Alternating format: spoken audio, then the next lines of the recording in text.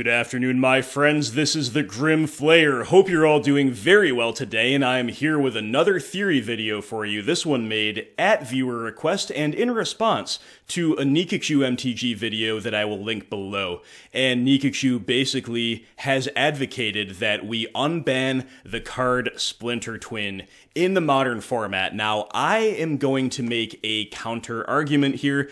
I am going to address the major points that Nikachu raises, and I'm going to say why I don't think they hold up to scrutiny, and then I'm going to add my own additional reasons on top of that as to why I think Splinter Twin should remain on the ban list. So, the one thing that I will say right out of the gates is that if you had asked me in 2018, I would have said, actually, yes, I think Splinter Twin should be unbanned, or could reasonably be unbanned, with the idea that we wait and see. And fair warning, you know, it could get banned if it's too oppressive and all that stuff. But then 2019 happened, and I really, truly believe that 2019 throws a wrench into the entire equation.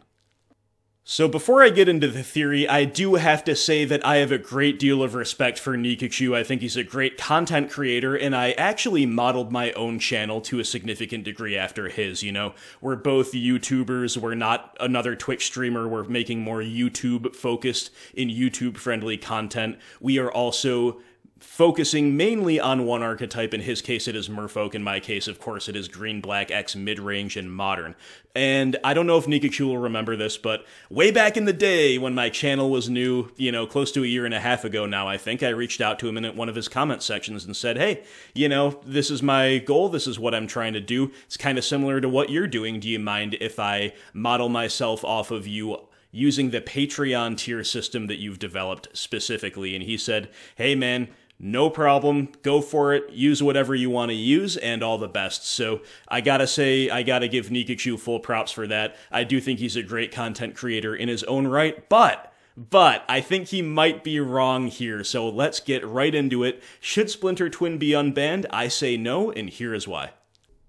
So it's important to understand the baseline premise that Nikachu's operating from, and to be fair, I agree completely with this premise, and I think most of you will as well. The premise here is that Splinter Twin is a is a combo deck that can police the format because it's powerful, it has a reliable, quick win condition, uh, which you usually need to be at the very top tables in modern, and it interacts. You see cards like Remand are kind of iconically twin or iconically Izzet interaction, and it can be interacted with. You know, if you can kill the Pestermite or the Deceiver Exarch, if you can leverage some permission on the stack, if you can disrupt uh, their plans with hand disruption or with attrition um, that depletes resources like Liliana of the Veil.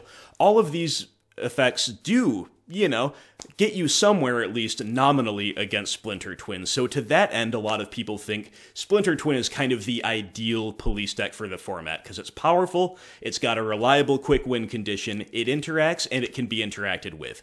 Now, Nikachu seems to operate from that framework, and again, I completely agree. But Nikachu then takes that framework and that idealization of Twin as a police deck to the next level and what he makes, uh, the case he makes there is where I start parting ways. So, in addition to what I just laid out, Nikachu also says it's a good thing, basically, that Splinter Twin could really easily leverage Blood Moon, presumably even main deck, although I don't know if he said that specifically. And he says this because Big Mana is taking over Modern. It is running roughshod over the Modern format. And hey, no arguments for me there. We've got the Primeval Titan decks totally out of control, dominating the top tables. You've got no arguments here. But let's remember this the na- the notion of discussing bans and unbans, specifically when it comes to a card like Splinter Twin that did have its heyday in Modern and was subsequently banned and has been on the ban list for a very very long time now, the discussion is by definition utopian. What I mean to say by this is that the discussion like it, it is an aspirational standard that we are aiming for. We don't want to say, well, if Splinter Twin was unbanned, then the best deck in the format could main deck Blood Moons, and hopefully that would keep Big Mana at bay. If we are aiming for an ideal construction of the modern format and an ideal curation of the ban list to lead the type of play that most modern players want to see, I don't think that the overpowered Big Mana decks crushing everything but being kept in check by the Blood Moon main decking combo deck. Is really is that really the best we can do in modern? I don't think so. So to me the notion that splinter twin is especially desirable as a police force due to the fact that they can play blood moon at almost no deck building cost to me i don't really see that. I don't really see that as anything remotely frankly like what we want to aim for for an ideal modern format the other primary argument that Nikachu makes is that uh, there have been more answers uh, printed that can disrupt the Splinter Twin combo since it last reigned supreme in Modern, and there's no question again that he is right about this, but I would question the extent to which these answers are actually effective. So these two cards here he specifically names in his video, Mystical Dispute and Fatal Push. So let's talk about Dispute first. Yeah, I mean, Dispute is live against a twin deck, but you know where else it's live? It is live in a twin deck. It's in fact arguably better in a Splinter Twin deck as a sideboard card against blue decks than it even is against Twin, because Twin is significantly red. They can do a lot of other red things, while you're the one, you're not the combo deck. You know, if you're playing Mystical Dispute, you're maybe on a control deck or something like this. You're probably not the combo deck. You're probably the one who needs to respect their potentiality more than the other way around. So, if anything, Mystical Dispute, it's very possible that it helps Twin more than it harms them. He also did mention Fatal Push, and look, Fatal Push, yes, it can kill the Pestermite. It can kill the Exarch, and the latter of which did not die to Lightning Bolt, so that is kind of a big deal. But at the same time, any experienced BGX mid range player will tell you that you certainly do not always have Revolt when you need it with Fatal Push. That is not even in question. It is very, very common for you to have a very tough decision between do you develop your mana normally or do you leave this fetch land cracked ad infinitum in case you need a revolt. Now, if you're not if you're not overly flush with lands, that's a really big issue. It becomes even more of an issue when you recognize the fact that twin naturally tempos you out. The blue red color pairing is already kind of a tempo oriented color pairing, and the combo pieces themselves, like Pestermite, those are tempo cards. And again, if you look at the adaptation that we'd expect, you know, of, of the deck picking up cards like Remand, all of this put together means that you are already at very high risk of getting tempoed out as a mid range player. So, realistically, when you're against a tempo deck, you can't afford to just leave a fetch land unused forever, just in case they happen to go for the combo and not also not have permission for your fatal push. Like, eventually, you're just going to start executing your plan and make them have it, and then your fatal push cannot save you any longer. Finally, there's Plague Engineer. I don't remember him mentioning this. Maybe he did, maybe he didn't. But certainly other people mention it when discussions of Twin come up. And yes, Plague Engineer does kill Pestermite and also stops Pestermite from being part of the combo, and also uh, cripples Deceiver Exarch in that same way without outright killing it. And, you know, Plague Engineer is obviously a great card all around. You don't have to convince me of that. I think this is one of the best cards in the BGX archetype, frankly. But but we are against, again, remember, a URX control shell. Can you think of much worse in terms of its likelihood of resolving and sticking than a 3 mana sorcery speed 2 2 against a deck playing lightning bolts and remands and all kinds of other removal and permission. Um, even cards that may or may not see play, like super flex you uh, Swiss knife cards like Izzet Charm, can still really put an end to the Plague Man's dreams of breaking up the combo. So, as far as, you know, real hosers for the twin combo go, I don't really think these cards apply necessarily. Now, they're not not nothing, but my argument is is here that Twin actually got tools that are way more powerful on its own side relative to the cards that may or may not be effective at answering it. Now, let's take a look at some of those. So let's give you the most egregious one first, my friends, and that would be the much maligned, at least by me, Veil of Summer. So, Veil of Summer, this card is highly controversial. I, I am a vocal critic of it. I do not understand the design. I don't understand why, in an era where the answers are already struggling to keep up with the assembly line production of overpowered and broken threats and combo enablers, we are printing cards like Veil of Summer, which specifically hose interaction in a way that is just really hard to come back from when you are on a fair interactive mid range or control deck trying to break up some of this linearity in modern. So, Veil of Summer is a very, very easy thing I can see twin pilots reaching for. They're going to build a Temur twin deck. They're going to play four copies of Veil of Summer in the sideboard, maybe even going so far as to main deck some of them if the meta allows for it or encourages it. And that in and of itself, to me, this, I could stop and end the video here. I think as long as Veil of Summer is legal in modern, Splinter Twin should not be legal. There you go.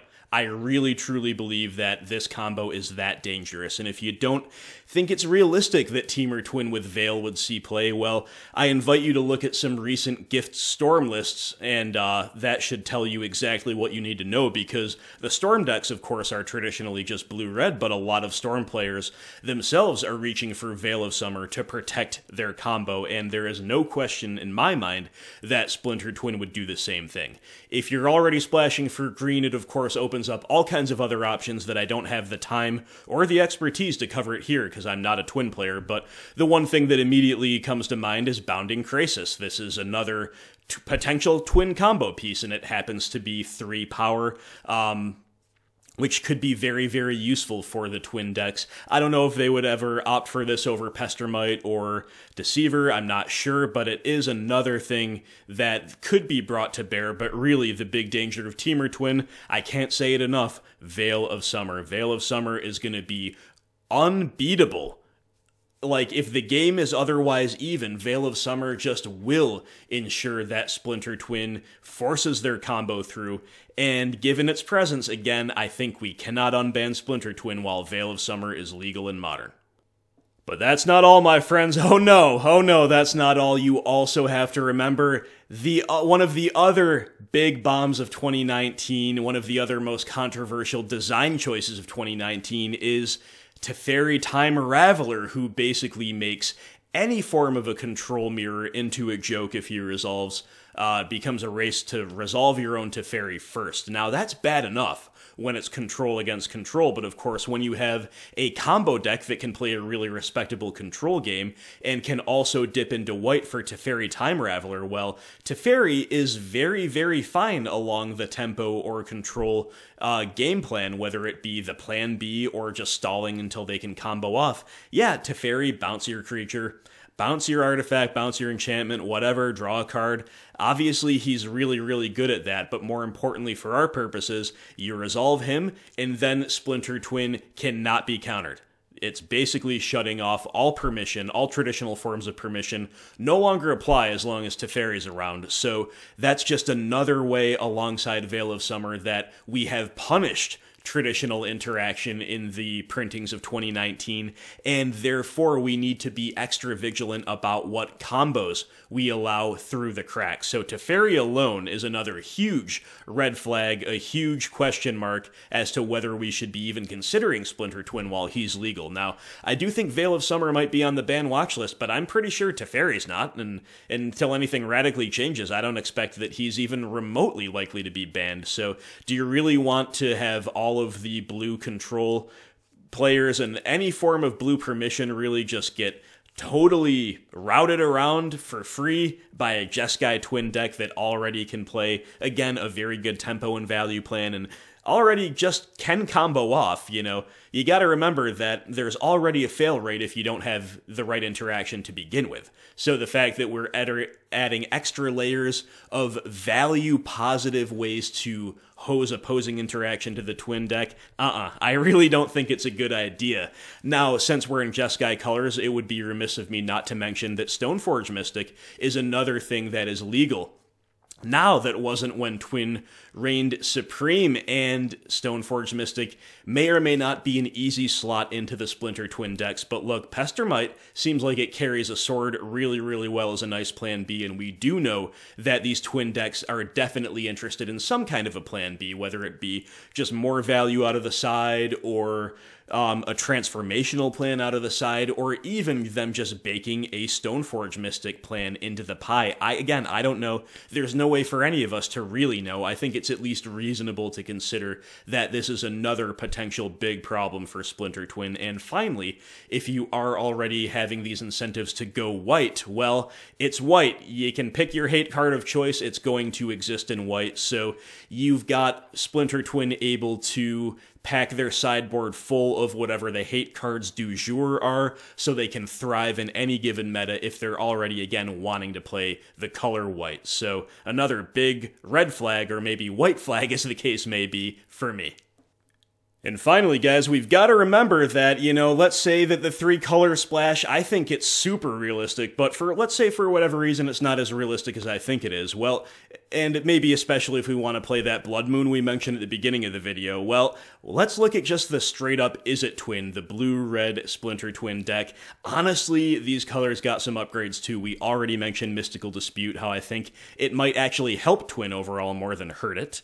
Uh, also remember, Jace the Mind Sculptor. Yes, he was, he's been put on the back burner a little bit after Oko and Company came out in 2019 and kind of turned modern on its head, right? But Jace is still a big, big upgrade for blue red decks, even if he's just a really nice one of, even if he's just some more value out of the side, whatever. It's still Jace the Mind Sculptor. It's still another tool that Twin now has at its disposal. And then you got to think of other cards like Magmatic Sinkhole that they might not look flashy, they might not look that impressive, but hey, they did not exist before. And this is going to allow Twin to, for instance, cleanly answer a 4-5 Tarmogoyf or a Gurmag Angler or things like this, while trading one for one, not having to two for one themselves, not having to struggle to deal with these threats if they resolved. It's just that the point here is that Twin, I think, it's clear, has way more tools helping it than there are answers to it, having uh, taken the last couple years